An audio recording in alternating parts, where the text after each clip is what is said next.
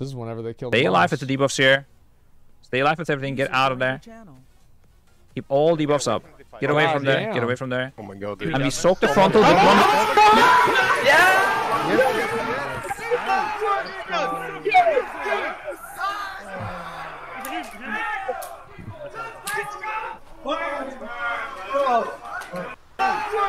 I feel like they're happier that they can go home than that they killed the boss.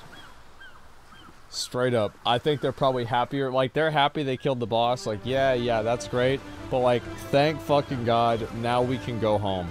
Like, this has just been, how long has it been? Like, 25 days or something like that? Yeah, 16 hour sessions for 18 days straight. Like, that's just like, I don't know.